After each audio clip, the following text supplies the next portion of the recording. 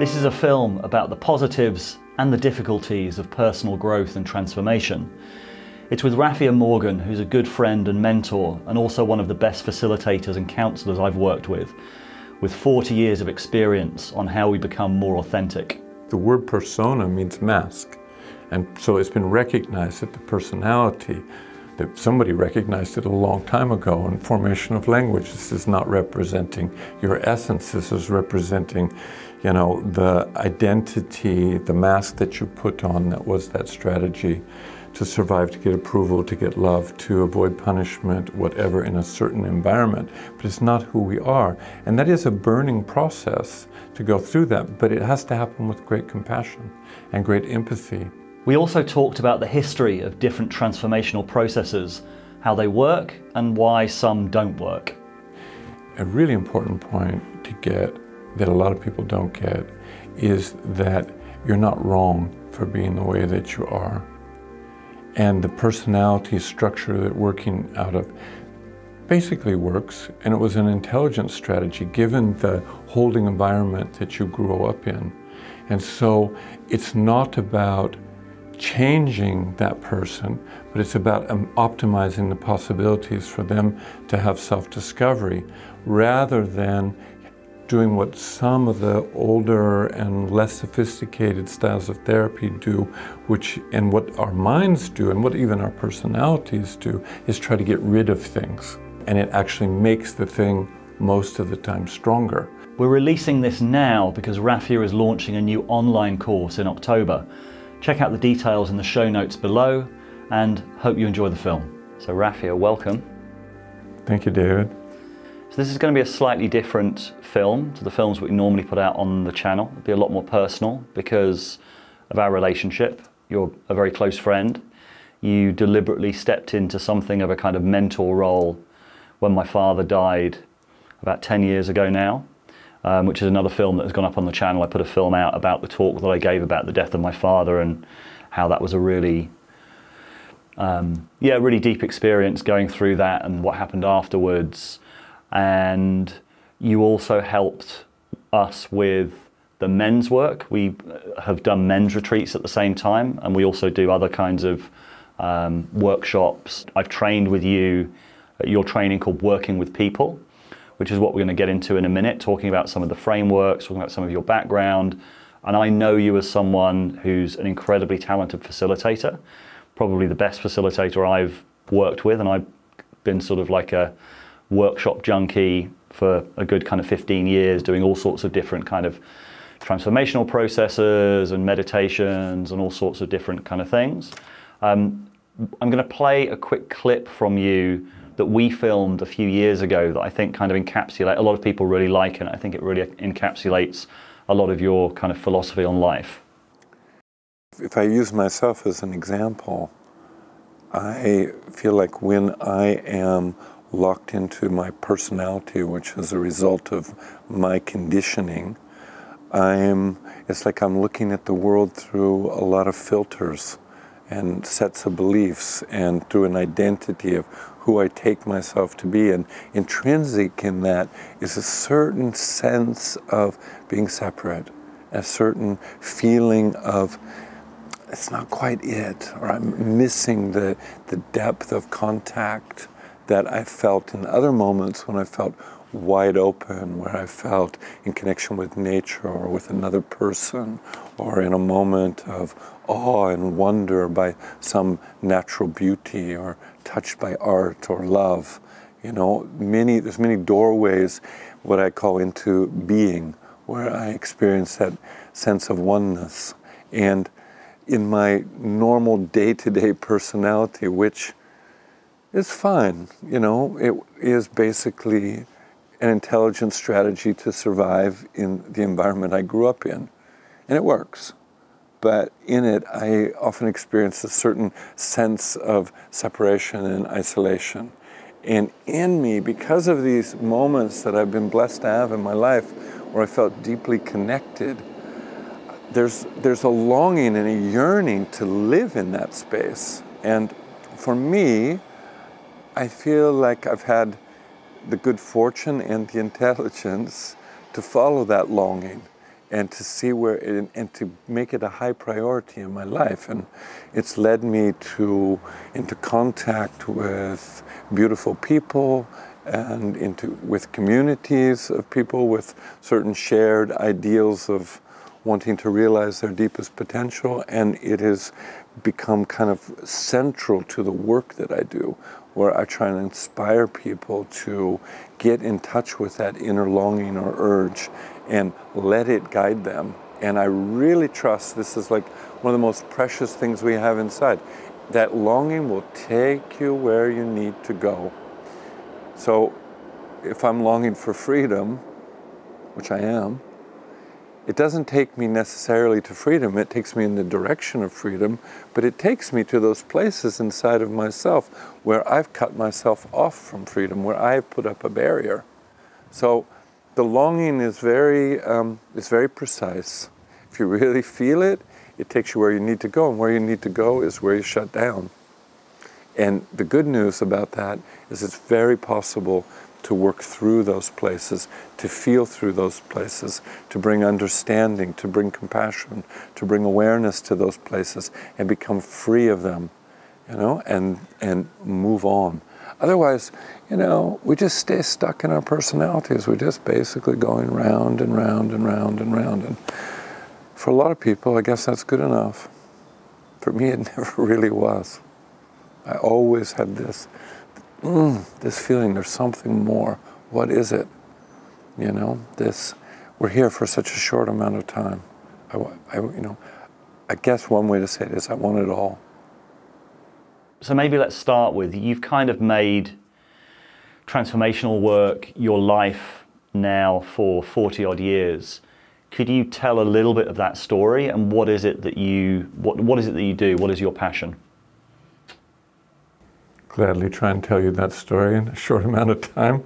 40 years sounds like a long time to have been at it, but it's true. Um, basically, I started off in political activism and came to realize that I was an angry guy who was pointing his finger everywhere, but I wasn't anywhere inside myself. And that started me to question myself, and that questioning led me to doing inner work meditation, things like that, and became the beginning of what's become a, an occupation, an identity, and the birth of whoever it is that I am right now. So it, and that's led me on a long course, and it still does, um, to many trainings, to many groups which I've led, to etc., etc.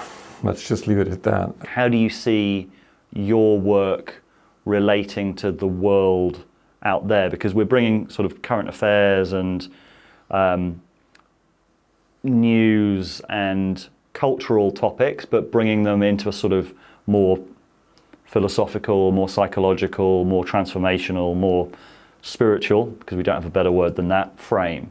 So, how do you see those things linking together for you? Well, first I want to say that's one of the things I really respect about Rebel Wisdom is that you take on some of the really tough issues where people are really charged and there is a lot of polarity and as best as is possible try to be objective, which as we know is a really, really difficult, maybe it's almost impossible, impossible thing to do. Yeah, let's say it like it is. And so what I'm really curious about then is in myself, when I find I have a really strong reaction to something, and I do have strong reactions and opinions and biases and righteousness and can point my finger and stamp my feet and get all huffed up about something is to be really curious about myself. Like, why do I have such a strong reaction? What is that saying about me? What is it that's inside me that maybe hasn't been digested that keeps me part of the problem rather than achieving some kind of potential inside of myself where I might become part of a solution, where I might actually be willing to go to a synthesis and learn something? And that requires exercising some very different muscles than we're usually conditioned in. You know, it's like we're outward oriented through our conditioning. We look for the problems outside and we look for the solutions outside. And we maybe even can talk the good talk about, yeah, yeah, I know I have to look at myself and everything, but to actually do it and actually track those strong reactions and those strong impulses and question your own beliefs and see, well, who am I? Who is this person inside? And then stay with the experience of the, the force of that as it comes up. And in a way, by being curious about it, which is part of the process, one of the processes I teach is about inquiry, it shifts it back in and something about that charge gets, starts to get metabolized you know, it goes down a little bit and it comes back a little bit more here and more openness come. I may still have my opinions, but I'm more open to be able to meet and look at the world a bit more objectively. And I'm more connected to myself because I took that decision not to just point my finger and shout and be righteous and everything and be really curious and to the best of my ability, love the truth and be honest about myself you know? And sometimes what that uncovers is an old wound inside that is just activated and would cause me to take a position or be against something. And when i go a little bit deeper it's like oh god old memories might come up feelings emotions might come up. And then I have something to digest inside of me that's personal to me that's actually part of forming my opinion or judgment about something. Yeah, and you've touched on it already. Like the, the, the transformative power of truth is something quite extraordinary that I think, I hope a lot of people can can resonate with. We, you talked about inquiry, which is the model that we've worked with in some of our courses, and also John Vervaeke at the moment is is kind of really bringing back an interest in forms of inquiry, forms of like live dialogue between people, like what happens when we go into this kind of space together of exploration, and he calls it dialogos. And his main theory is that this is where this is where Greek philosophy came from. This is where novelty comes from. This is where everything that then gets codified as a system comes initially from this kind of live exploration into the truth that we do together. Um, and that I find that really interesting. That that's sort of at the core of, um, yeah, I'd say it's at the core of what we're trying to do to the best of our abilities to kind of find the truth. Like it's the unifying factor, I think, in in and it's it's internal truth as well as external truth. It's like what does that feel like as a embodied experience? Yeah, and I think that love of the truth is actually a state inside that we generally don't operate from. So it requires some experience of going in and seeing that process that you're describing right now, where you start digging in there and you find, like, okay, this time I'm going to tell the truth. What is it? You know, and you go a little bit deeper than the personality's defensive nature and start inquiring into yourself. And that's going to bring you to a different place. So it can be a, a, remembrance. Oh, love of the truth. What's my truth right now? It's not absolute truth, it's the truth as I'm experiencing it right now.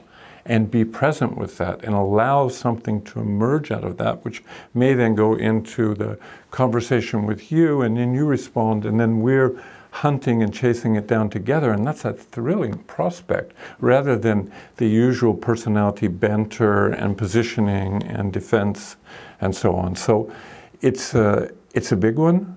Um, it can be developed so that it's remembered and applied. And it's sort of like, oh yeah, what is that thing about truth?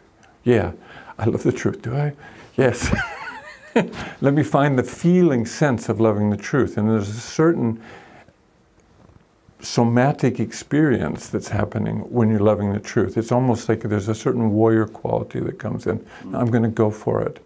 I'm not going to just go the easy way. Yeah. And I find that that's empowering. It also is inviting something new to come in mm. because it's so easy to just stay with our set beliefs and conditionings and then just stay in that and then we don't make any real contact with anything new or with anybody. Mm. So loving the truth, it's scary for the personality. Personality hates it. Yeah, and that's why I like I like this kind of reframing around bravery as well. Like we talk about this as one of the core qualities, and we do this very much in our men's work. The, the, the men's work that you helped us kind of put together. It's like do you have the courage to really look at that? Do you have the re- really have the courage to look at where you're fixated, to look at where your belief structures? Like, Because it's scary. It's scary to question those, and it's it's a brave thing to do, and it's it's why it's often better to do it in a group of of people that maybe you you don't know. That's why a workshop works, is you don't have these kind of existing um, unconscious kind of deals with the people out there of, of, that you might have with your family or with your friends of this is the person that I'm going to be. Get, you're allowed to experiment more. And you also talked about this sense that, that this, this is a, a practice that we also developed is like that sense of frustration when we don't speak the truth. Like really tapping into that sense of frustration when we don't speak the truth or we hold back or we don't say something that we need to or like recognizing that as well as a part of our experience and then using that as fuel to be to kind of really use that to say, okay, I'm, I'm not going to do that again. That is something that, and and there's a really, like a lot of this personal growth work exists in a very kind of, I'd say sort of feminine space or a very kind of, uh, it's a very accepting, non-judgmental space, which is very, which is essential for it to work, but also sometimes I feel like it loses that sense of, no, you need the bravery, you need the, you need the, the ability to cut through. You need to say what's really true. You need to potentially kind of give people reflections or to accept reflections and to be really brutally honest about what we're doing and what we're bringing to things. And, and that's what happens in groups, as you mentioned, that group environment. And with good facilitation, you're offering support for a person, which a person can feel as support. You're not judging their personality because it's just an intelligent strategy to survive in the environment they grew up in. But you're supporting them to go a little bit deeper and to access that courage and to take a risk and to come out. And, and what is that feeling inside that you have that you never let anybody see? You know, and what would happen if you let that come out right now? And then a lot of times that just that little nudge and it's an and it's a nudge of support. It's, it can happen in confrontation. Sometimes that's the necessary way, but and it can be compassionate. But also, let's let's be careful because sometimes the confrontation, especially in the seventies, became like very toxic. Like the whole kind of encounter group process and all of that. That I think it is like a lot of that damaged people. Like it went too far and. I agree. Like, I mean, we can get onto it in a second. I think there's a really interesting story about what happened when somatic experiencing came in, when the trauma work came in in the 90s, and was able to explain what happened when people were pushed beyond their boundaries. But maybe just just before we kind of, um, I think putting a little bit of that kind of framework around it might be needed. I think I would use the word um, rather than confronting. It's um, challenging. Hmm. You know, because confronting sometimes has and a very And it's better if we're challenging ourselves rather than being challenged from the outside. Right. So it's a support to challenge yourself, and sometimes it sometimes it has a little bit of urging on because you can feel it in somebody and they want to take that step. And it's like, come on, just say what it is you're really feeling right now. That's challenging, but it's supportive at the same time. And I'm right here, I got your back. You can't do it wrong. You know, just take that risk. What is it you always wanted to say? You and know, so, and that's and some, a wonderful yeah. moment. And sometimes the thing that someone wants to say is, I fucking hate it here. This is shit. Yes. I hate you. I hate everyone. It's like, great as long as you say that that allows it to shift that allows you to kind of because otherwise if you're just thinking it and not saying it you're out of alignment so that's i mean we've all had that experience in in groups where the thing that someone doesn't want to say is like i hate you and i hate you and i hate you and it's like well great now we can work with that it's kind of exactly it's like i'm i'm, I'm happy if the person says that because i'm feeling it anyway you know, and they're withheld. And if they just come out with it, it frees something up. And then to the person's surprise, a lot of time, I stay present and I meet them in that, yeah, okay, you hate me. What do you hate about me? You know, and get them to come out with a bit more. And then the story unfolds, you know, and then the connection and contact happens between us. So, And the somatic experiencing you mentioned a moment ago, it brought in a big insight into the therapy world that I was working in because it emphasized the necessity of creating a safe space for people. And, some, and that's a process. In some of the groups, I'm aware that the first couple of days, I'm creating a safe place. It's still challenging for people, but we're making it safe for them. They start to realize, oh, I'm actually in a place where I can say what I want, what I need, what I feel, you know, and what my vision is, yeah. instead of um, immediately um, editing it to the audience that I think I'm in front of. I'd love to, to maybe talk about some of the, the core concepts that I know you work with and you've developed in those processes.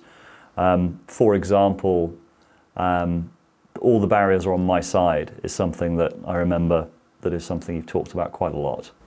Well, it's a really interesting concept, you know, because we want things, and if we go deeper, that wanting can turn into our heart's longing, and we try to get to that place where what is it that you really long for, or want, or aspire to, and get person oriented to that. And the, the understanding that we have is that when you get really give that longing the space that it needs to be expressed, there's something inside of us that starts to orient us towards the object of our longing, towards what we want. But where does it take us? It doesn't take us right to the end, it takes us to the barriers. So, for example, that. when you long, you long for freedom or you long for truth or whatever. Right, and then some experience will come up, say, from your childhood where you felt really restrained and you collapsed, let's say, and you now are afraid of freedom because you were punished for it, and so you don't actually take the step and come all the way through and show and show up and show yourself because you're afraid you're going to get beaten again or hold back. So that becomes a barrier to the freedom because it's that state of always holding back. And so all the barriers on my side is a very potent statement because it puts the responsibility back here. And again, it's it's that movement and that shift from the outer, which maybe the longing ostensibly is oriented to. It's actually an inner state that's wanted to be achieved, but that helps to bring it back. Well, then, why are you not free, or why are you not, you know, living your relationships the way you want to? What is it in you that's preventing that? And would, are you interested to look at that and what comes up right now? And what do you notice in your body as we as I'm talking to you? So that we're finding little doorways and ways to go in.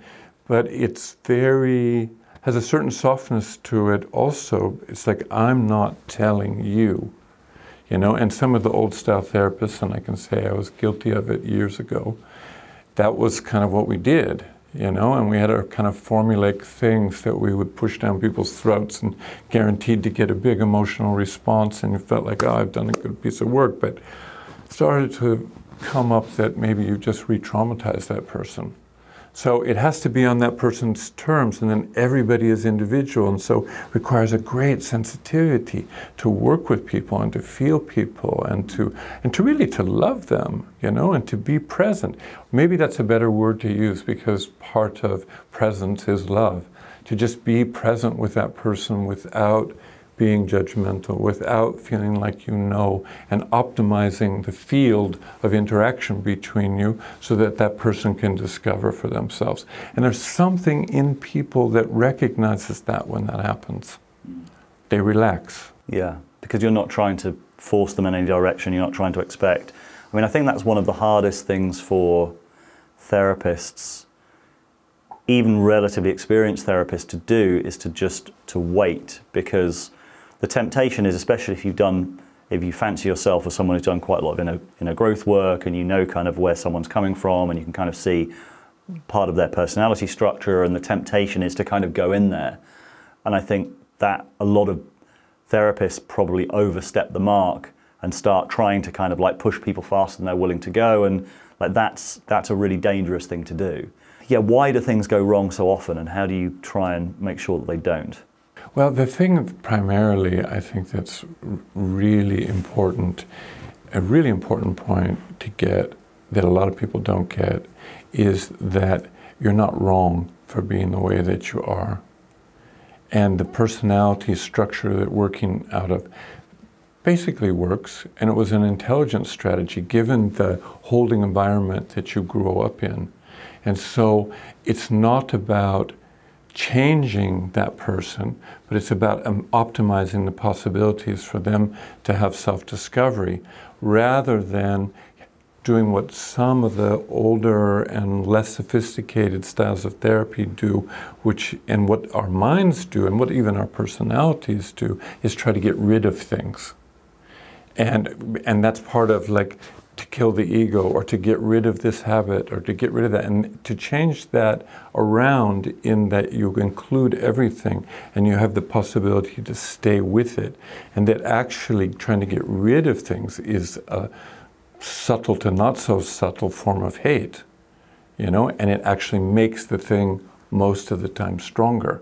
So if you engage in people in that kind of a dy dynamic where you're already participating with a place where they maybe hate themselves, and you're helping them hate themselves a little bit by trying to get rid of things, somewhere deep down inside, I feel like the, the bolts are getting a little bit tighter on that structure, rather than being there in, a, in an open and and even slightly humorous ways sometimes, you know, where you, where you're engaging the people about, yeah, that's your personality, and that's how you that's how you function, and loosening the structure up, loosening the bolts up a little bit. Yeah, I guess it's also that a lot of the a lot of work or a lot of kind of um, previous thinking, especially from sort of the 70s, 80s, was based on an idea that the ego is wrong, or the ego has to be transcended, or the ego has to be destroyed.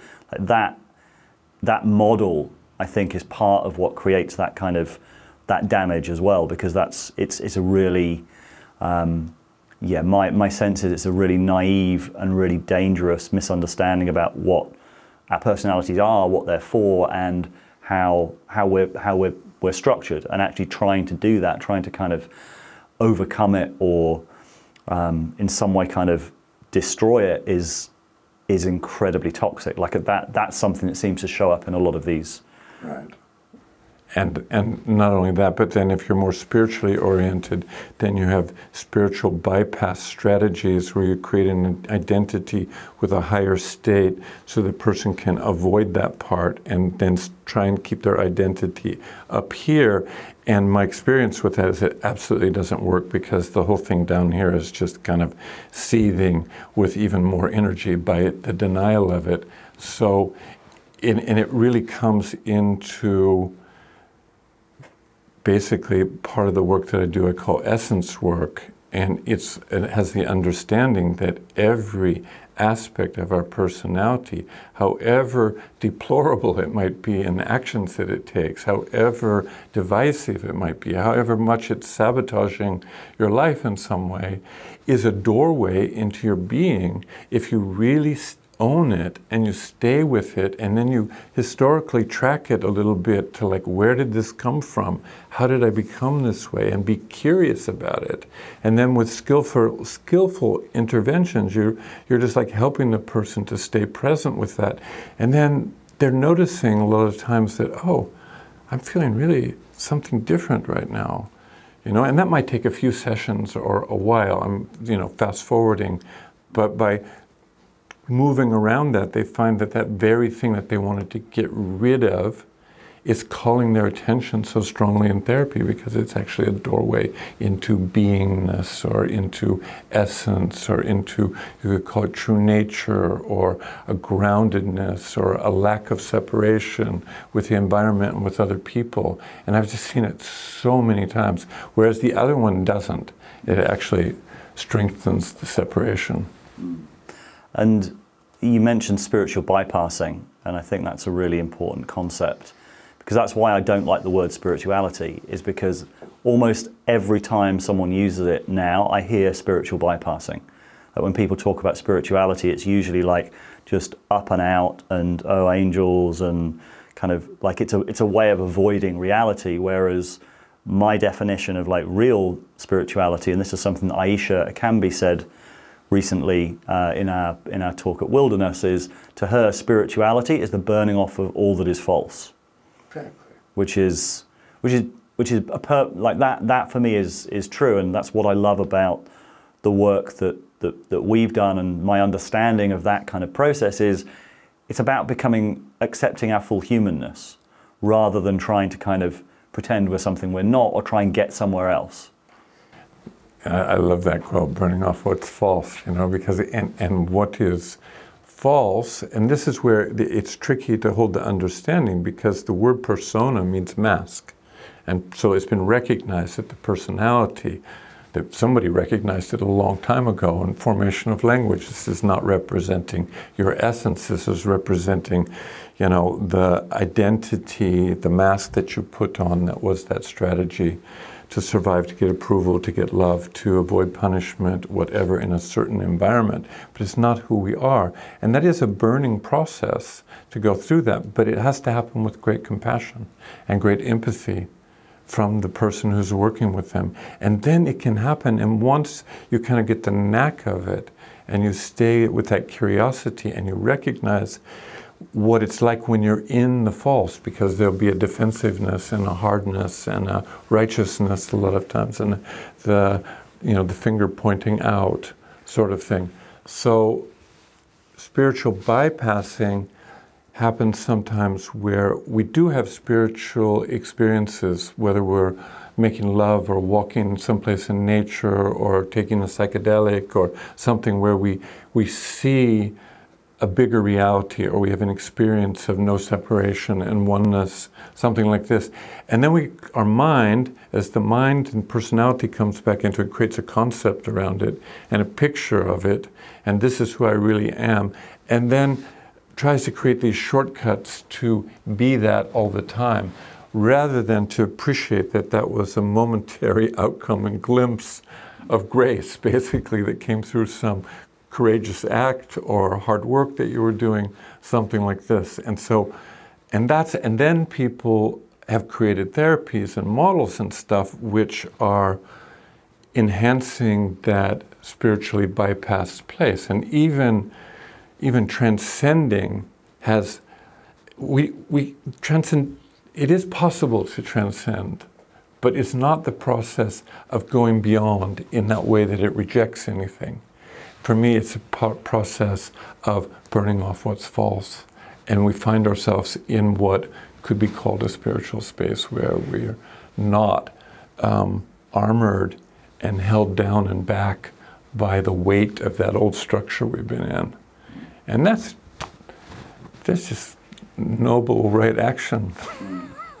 and we'll talk in a minute about the essence work that you brought up before, but um, before that, like how many different kind of models are you familiar with? Have you used over the years? Like what are, what kind of different different models do you find useful and do you work with? God, it's all so blended in together right now as the work that I do. I have to think for a little bit, but you know, I mean, I started off doing bioenergetics, still great stuff.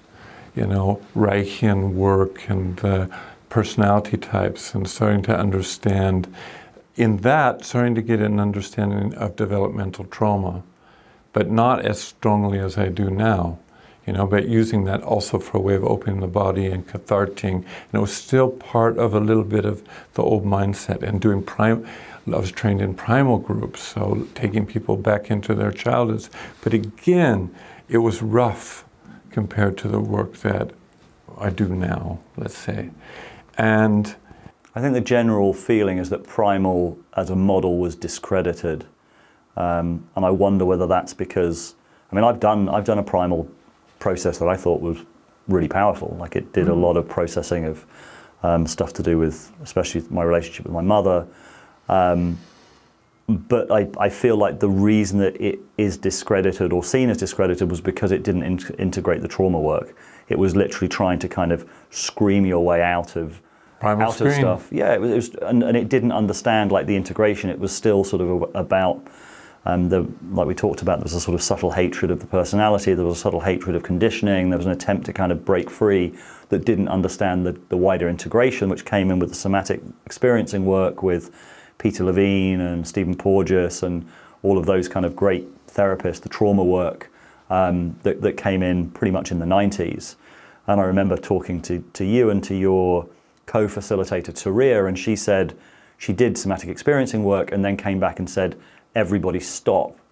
We're, you don't realize it, but, but all of us are, are potentially damaging people unless we unless we do this work, which I have a lot of respect for because I think a lot of people didn't do that. A lot of people are still doing the stuff that they were doing back in the 70s and 80s and um, are, are unsafe therapists and unsafe facilitators.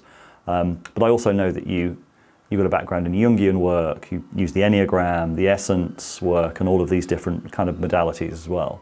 Yeah, I, I worked really a lot with male, female, masculine, feminine, went into the Jungian work, into tantric work, into Taoist work, where they're working with the polarities from the yin yang to the masculine, feminine. Um, many, many, it just kind of overwhelms me when I think of my history of how many things I've gone into. But what I want to come back to is what you mentioned a moment ago was that when I did the, tra- the SE trauma work and, and really came to understand that even though I personally am grateful for the cathartic work that I did and for the opening my body and opening up energy pathways inside of myself and coming out of some things, I was stuck. It couldn't go any further. It was like a, it was like step one kept repeating itself, something like that. And then to, to embrace and understand this, that there's so much that has to do with the nervous system that's part of a person's digesting of the trauma and the defenses in the body and the behavior in the body, and which requires a, a safety and a certain way of languaging that they also teach in SE, which I took on very wholeheartedly, and it just turned even Path of Love, which I think was always a great group, but after we had done somatic experiencing, it changed.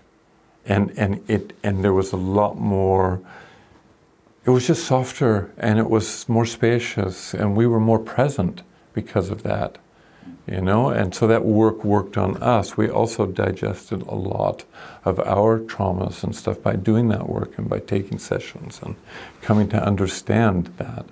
And then the next thing that came along that was so important was the essence work. I can't even remember which one came first. I think the introduction to the essence work came first. And this was some work that was put together by two Kuwaiti men, Hameed Almaas and Faisal Muqaddam. And I first read a book of Hameed Almaas in, in India, and I was like just amazed that he was describing a kind of map of behaviors in the personality and correlations and connections to states of being. And I felt like it just was like answering questions that I didn't even know I had. I was like so enthused. I was running around showing this book to everybody, like get this and that. I even wrote to Almaas and asked him if we, he would, I would get a group of 30, you know, kind of very experienced therapists together and would he train us? And he wrote a lovely letter back and said um, that his work lended itself to the long term. And so we were like, okay, well, I guess we'll read the books. And then that summer I met Faisal, and he, we got him to come over to Europe, and he was one of the discoverers of this. They were both graduate students at Berkeley, and they started using scientific methodology, inquiry, on themselves. And all of a sudden, all these things started opening up inside, and they, they dropped their pursuit of a PhD and became PhDs of the inner and created this amazing system. And that has just been such a, a room of riches for me that I'm still very involved with. And it has this methodology called inquiry, which we've touched on earlier in this talk, about being really curious courageous, loving the truth, compassionate, and joyful are the five basic components of inquiry. And it's an art to learn how to navigate with this, but it's one that anybody can learn. Mm. And it's that turning, what we t- started this talk with, turning the external reactions and stuff inwardly and being curious about yourself and then going on this unfolding process inside till you arrive at some new understanding or some new embodiment of some part of yourself which was closed off because you were so identified with the, let's call it shell. There's another word for personality. Yeah, and the essence work was also really at the core of the the, the training that that Ali and I have done with you, the, the working with people training. So inquiry was at the basis of it, like the form of inquiry. That was a sort of therapist training, learning to be a, a counsellor. So using inquiry, so you're exploring the truth together with the person that you're you're in the session with. And what I found fascinating about that is that as I developed that skill interpersonally, I felt like it also helped develop it in the outside world. Like you start becoming more attuned to what is wanting to be expressed in yourself, what is kind of, uh, or wanting to emerge in the space between you and other people. And then you also start to then, that becomes a skill you can then use to kind of tune into like, okay, what's, what's emergent in the culture? What's kind of feeling like it's coming through or where, or where, becoming more attuned to novelty, kind of a seeker of novelty and a seeker of truth, I guess, in the outside world. Um, but what I found fascinating about the essence work when we, we learnt it on working with people is your explanation of it as, as I understand it, and correct me if I'm wrong, that the model is that there are essential qualities, qualities of, of being that we have arising naturally, spontaneously, that the ego tries to impersonate because it can't really, it, it, it, it the, the ego or the personality is basically a, a structure that tries to mimic essential qualities but can't do it. So does it in a kind of um, warped way that then creates a lot of um, problems for us out in the world. Is that a good summary, or how, how would you describe the system? it's pretty good. And the one part I would add to that is that the law, it's like if you think of us born as pure potential with our essence intact, let's just say. And then through the way that we are conditioned and through that holding environment and through what's reflected and rewarded and loved and what's denied and pushed away, etc., controlled, we lose contact with certain aspects of our essential nature. You could use the example um, perhaps somebody was not really supported to really individuate and go their own way and had fearful parents that always kept them kept them back. And therefore they didn't have that spont they lost touch with that spontaneity qual- spontaneous quality of being to be able to just go and to show up. And they're always holding back and as a result feel that they lost their strength and they might show up in their personality either as collapsed, as one compensation from the ego, or tough. And neither one of them brings them to the same place that that strength and that free individuation would bring them. And so by confronting that, that quality in the ego, they can start to under, uncover what happened, see the defensiveness around it, the identification with it, and start to reclaim the beauty of their strength in its essential form. And so, what are the essential qualities? The colors in the, the model that well, we, there's use. there's there's so many. I couldn't begin to talk, but in the course that we lead, we work with one that has to do with the will, and we look at the false will of the ego, and we look at uh, what true will feels like when you're very supported and grounded and present and not efforting to try to make something happen, but basically trust that you have what it takes inside yourself to meet the challenges of life. I mean, that's an amazing space. Most of us have real issues with that. You know, we get tense and we, we start to push and effort. And second one is courage, which I just described. We call it the red. You know, and then the black has a lot to do with our shadow and the parts of us that have been withheld. And in that is the most, it's the, the quality of the black when it's really experienced is the part of our being that is very peaceful and powerful and loves the truth. And so truth is the motor for, or the fuel for giving, arising that aspect of essence.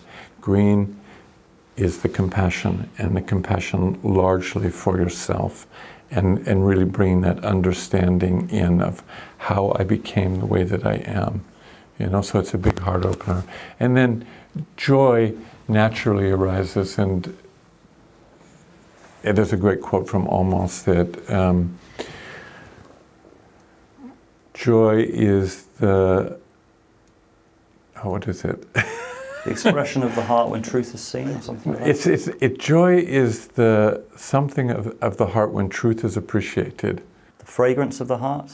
You could say that. Joy is the radiation of the heart when truth is appreciated. And I think that's such a great thing to just get. You know, it makes us happy to be aligned with the truth which there's a celebration that starts to happen inside because we're not going with our defenses, our beliefs, our um, self images and doubts. And it releases the heart because the heart's nature is joyous. Obviously, since the beginning of the pandemic, in person groups aren't happening, happening at the same level. Like we've, um, something I think we've been really pleased with is we found that you can have really quite profound experiences online. Um, if it's a well-held process, it's not the same. Obviously, like a, a deep sort of transformational seven-day process where you can really go through and um, I've had some extraordinary experiences on, on, on, different workshops like that, and it's not quite the same online, but you can actually have quite, or what we found is that you can pleasantly surprised by, by the depth that can be achieved online. Mm. Have you, what have you found since the beginning of the pandemic? The same, you know, a bit of resistance to it at first because I'm attached to the other, and um, and now a kind of either surrender or resignation. I'm not sure which sometimes, but but I've come to embrace the online format, and one of the things that I and better to say I've come to embrace the online format and I can see that people really do get a lot from it. And it's amazing what can happen through a screen that I thought was only limited to a working space for a group. Um, and the other great thing about it is that it gives the possibility to reach a lot of people that wouldn't otherwise be able to travel, take time off, pay the expenses of a group, etc. So it starts to open up to much broader audiences. And I think the things I don't I can't speak for all the things that are online, but I'm I'm really happy with the things that I've created and with my partner Turiya have created for audiences where I know for sure we're we're talking to people all around the planet that wouldn't otherwise be there. And it's very satisfying. And the feedback that's come back is really good too. So we've just launched a new online platform called Dimensions of Being, where we plan to do a series of groups that we formerly happened only in group rooms. And of course, it takes adaptation to do them as an online course. Um, but I'm excited about it. I have to say, my enthusiasm has uh, risen. So, in one of the ways that we, to make people get a sense of who Turiya and I are and a little bit about this process we're doing, which we're calling Initiation to Essence, is we, we did three, I think, 20 minute little clips called Invitation to Essence, which anybody can access. And they, they meet us and they get a little bit more sense of what the course is about and hopefully feel inspired to do the longer course. So, Rafia, thank you. Uh, this has been a great conversation. I hope people really enjoy it. And I just want to say thank you for everything that you've done for me over the last 10 years or so. You've been incredibly supportive, um, especially since the, the death of my father, and that's been incredibly meaningful. So, thank you. Mm, David, I feel a bit emotional as you say that myself. It touches me.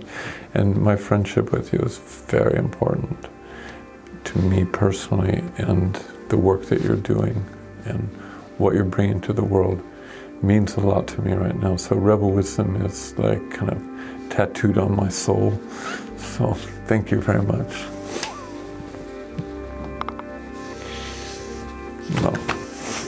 So I hope you enjoyed the film.